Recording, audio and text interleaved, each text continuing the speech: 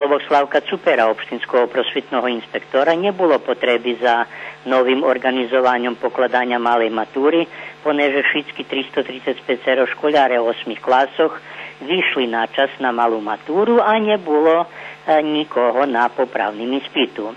Zostým kolo 50 šliebodní mesta u Šiďanskej gymnázii strednej techničnej školy za teraz ostávajú nepopolnieti a úpis ešte 29. i 30. augusta.